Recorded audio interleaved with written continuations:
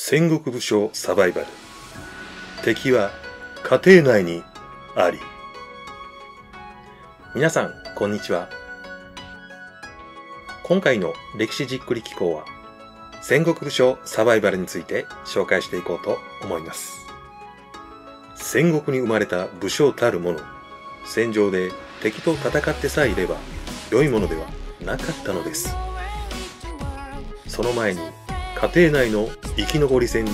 勝たなければなりませんでした。ここからはナレーターさんに解説していただきましょう。家督争い。家臣を率いて敵大名と戦うにしても両国を治めるにしてもまずは家督争いに勝ち残らねば話になりません。普通であれば長男が家督を継ぐのですが器量資質に問題があったり長男は側室から次男が正室からの出生であったり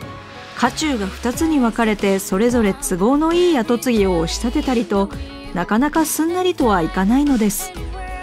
家庭内ごたごたで有名なのは武田家の晴信。信玄が信濃の運の宗綱討伐に勝利しての凱旋の帰り道。甲斐信濃の国境を封鎖して共に戦った父を両国へ入れずそのまま追い出してしまった事件です。この父親追い出し事件の背景は信虎の領民への暴虐や両国経営のまずさもありましたが信虎が晴信の弟である信繁を偏愛しともすれば家督を信繁へ譲る素振りを見せたからです。そうはさせじと晴信が先手を打ちました。織田信長は弟信行を。伊達政宗も弟正道を殺害していますが戦国のビッグネーム2人に起こった事件も弟を偏愛する親の存在ゆえの悲劇でした。徳川家でも二代将軍秀忠夫妻が長男家光を差し置いて弟忠長を可愛がったため祖父の家康が乗り出し家光の地位を守りました。しかし結局その後の忠長の常軌を逸した行動が元となり兄家光に自害を命じられます。上杉謙信の場合はこれとは逆で一旦は兄春影が家督を継ぎましたが病弱な兄よりも家を守る戦いに影虎。謙信が活躍したため影虎が春影の養子になる形をとった後春影は隠居。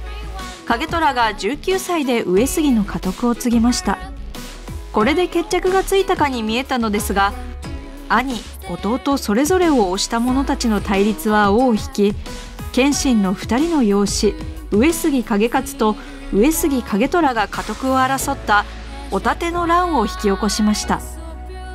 一人の勝者とその他の敗者大名家や名のある武将の家では家督を譲り受けるのとそれ以外の兄弟の間では大きな立場の違いが生じます。跡目を受け継いだ者は大きな責任も負いますが家中の全権を掌握できます。一方同じ父親の血を引きながらその他の兄弟は家臣同様に扱われる場合も多かったのです。兄弟たちの鬱屈した心を思うと領主の座にあっても安穏とはしていられません。かといって粛清を始めれば血縁者を減らし家の勢いが衰え今度は家臣や隣国の領主につけ込まれます。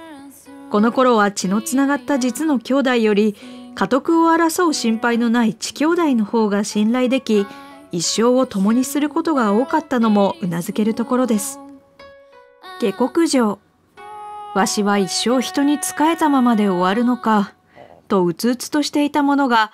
ある日他人が主を倒すのを見てあそういうのもあり？って気がついたのですね。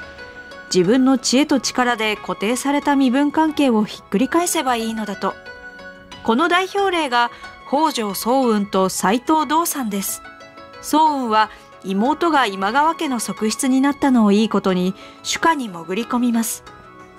今川家の内紛を収めるのに手腕を発揮し広告市場を手に入れるとまず伊豆支配の堀越久保足利正友の子茶々丸を追い落とします。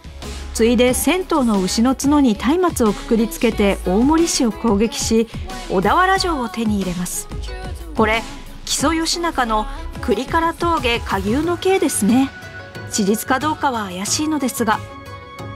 直接の主家を裏切ったわけではありませんが下克上といえば名前が挙がるのが斎藤道さん長井氏を乗っ取り美濃の守護代斎藤氏の名称を頂戴しついには美濃の守護職時氏を追い出して美濃一国を手に入れます。少し意味の違う下克上は鍋島直重島原で主家龍蔵寺高信が有馬島津連合軍に敗れると高信の着手が無能であったのをいいことに事実上の領主に居座ります。豊臣秀吉も徳川家康もこれを追認し龍蔵寺の一族まで賛同したのでそのまま地位を保ちました。下克上は起こされる側の主家の人間としては大きな脅威です。と言って家臣に権限も力も与えずに中勤を励んでくれとも言えません。主人たる者己を鍛え器量を磨き家臣に隙を見せぬよう厳しく接し時には情けを見せとううしんどい。ところで戦国最大のお家乗っ取りは秀吉だと思うのですがこれあまり秀吉を悪く言う人がいないのですね。非戦の身から成り上がった秀吉はなんとなく庶民のヒーロー扱いされます。家臣粛清。これに関して厳しかったのはやはり信長様ですね。佐久間信盛は元は尾張の怒号でしたが若い頃から信長の父信秀に仕え家督問題でも一貫して信長を支持。信長が家督を継いでからは重臣として仕えます。しんがりを務めることも多く軒佐久間の異名をとっています。もっともこれは信頼されて軍の最後を任されていたとも最後尾の捨て駒にしか使えないとも両方言われるので勇敢だったのか臆病だったのか判断できかねますが三方ヶ原の合戦では滝川一益平手博秀水野信元らと共に3,000の兵を率いて徳川家康勢の援軍に駆けつけますが武田の大軍を目の前にするとほとんど刀を交えることもなく逃げ帰ります。おかげで平手博秀は討ち死にしてしまいました。大阪本願寺攻めでも消極的な戦法ばかりを取り信長激怒。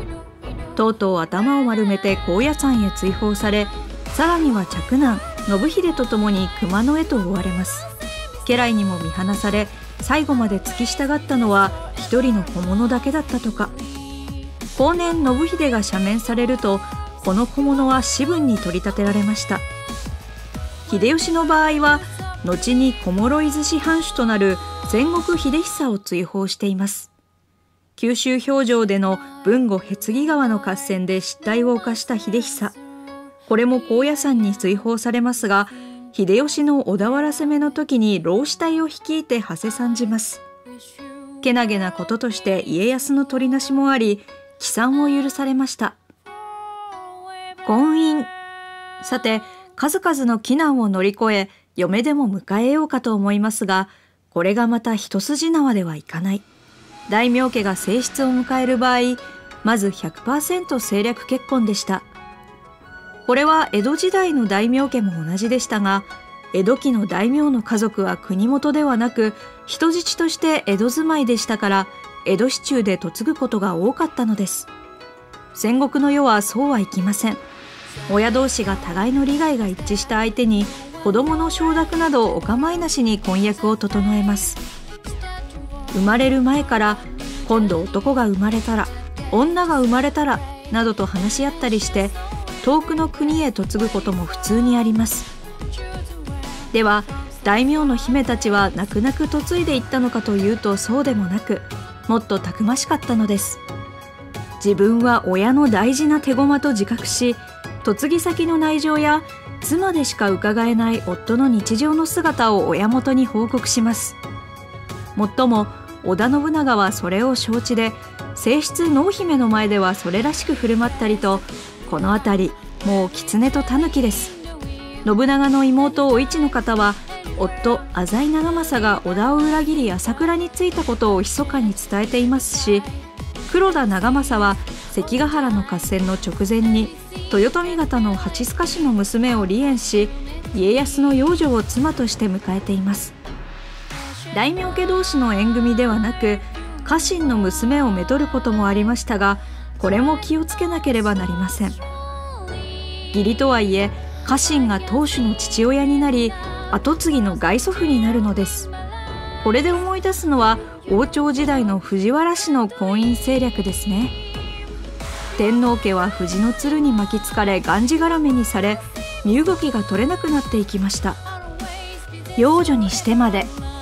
この婚姻戦略は相手との結びつきを強めるのにかなり有効でしたが娘がいない時は養女にしてまで自分の手駒として使います。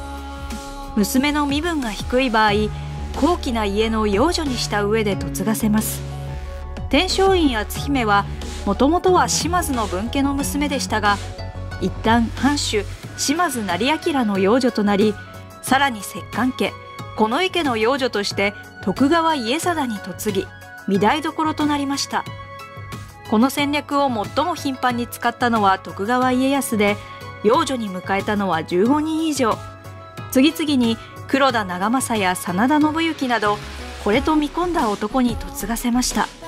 このように戦国武将は身内にもというか身内にこそ厄介な敵を抱え込んでいました。その中で何とか家を潰さずに一代を終えることができればそれだけで十分立派な業績と言えます。最後まで動画をご覧いただきありがとうございます。今回の動画はいかがでしたでしょうか？もしよかったらチャンネル登録お願いします。こちらの軍配の上にボタンが現れますのでもしよかったら押してみてください。あとこちらの動画もよかったら見てみてください。どうぞ。よろしくお願いいたします。